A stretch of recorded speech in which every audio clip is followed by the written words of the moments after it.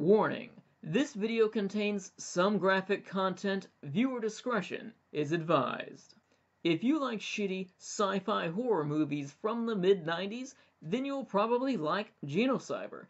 Genocyber is a shitty sci-fi horror anime series from the mid 90s. It is a five episode long OVA, so it's comparable in length to a movie. The first three episodes coincide as one longer story, and the last two episodes you don't really need to bother with them. They're different on their own, and Genocyber is an adaptation and an expansion on its original manga series, which was cancelled. Can't really be surprised by that because it's shitty sci-fi horror. So the original manga to Genocyber before that was cancelled was five chapters long, so it's only one volume, and that's all we really have of it.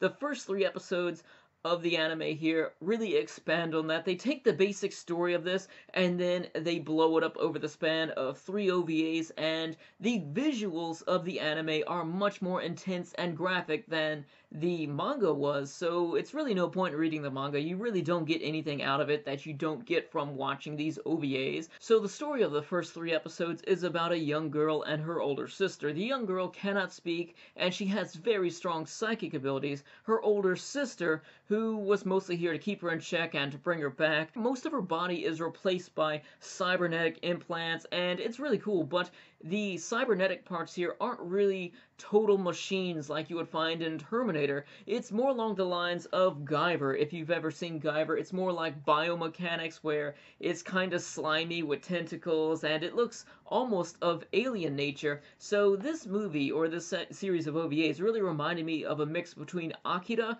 and also a Guyver, but not nearly as good as either of them. So in the first few OVAs, the younger sister escapes and then she's brought back and then she is changed into this uh, biomechanical creature that her body would rip apart and she turns into this big Guyver looking creature and she's flying around the town and she is fighting a lot of these other experimental creature looking things. There was a whole lot of gratuitous gore here when people get ripped apart. There's one girl that ripped her own boobs off. So you had this guy that was partially android himself and the little girl imposed these feelings on him with her psychic powers. It it made him feel like he had bugs inside of his brain, and somehow he opened his skull up. There's a little door on his skull that opened up, and then his fingers the skin on his fingers peeled back and it showed these robotic fingertips that were all spiky and he just started digging inside of his brain and pulling parts of his brain out and uh, he died, he died from that obviously so uh,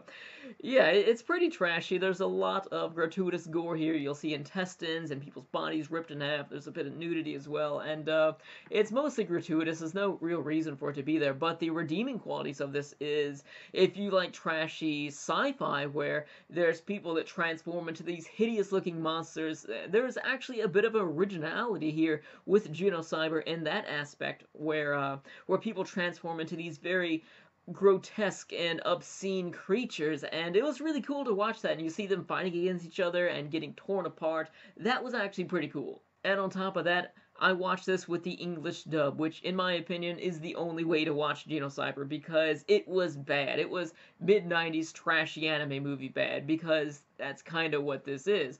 And it's really funny because the actors are so monotone here. You'll see somebody walk into a room and they'll see somebody getting torn to shreds and they're just like, what in the fuck? I can't even do it.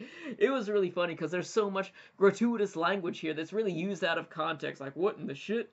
What in the fuck? Like, all the time you hear stuff like that. And it's really funny just watching that. So, uh, Genocyber, uh, the last two episodes of this, I felt really reduced the quality of the OVAs, in fact, because it tried to take itself seriously, and I felt that by the end here, the animation had dropped just a little bit, and also, uh, the voice acting. It was bad and really adding to this story that was trying to take itself a little bit seriously. The voice acting kind of didn't really do anything for that. So, so in my opinion, if you're gonna watch Genocyber, just watch the first three. Don't watch the last two. The last two are filler anyways, because if you read the manga, then you'll see that the basis of the first three stories here come from the manga. The manga isn't that good either. I don't really recommend reading the manga, but go ahead and check out the first three episodes if you want to see gratuitous gore, trash, flashy sci-fi uh, creature-looking things and uh, a lot of violence. Go ahead and check it out. Personally, I don't really get into all of this gratuitous gore that we see here, but it doesn't really do anything for me. It doesn't really I could do without it basically, but what I really liked about this was the grotesque, uh, uh, crazy looking transformations that you'll see, and the fights here, that was pretty cool too. So anyways, if you've seen Genocyber, if you've read Genocyber, let me know your thoughts about it in the comment section below. Anyways, if you have any other movies or anything else you want me to recommend to watch or anything, leave me that in the comment section below as well. Thank you for watching. If you enjoyed the video, of course, don't forget to comment, like, subscribe, and also share if you feel like it. Thank you for watching. I'll see you later.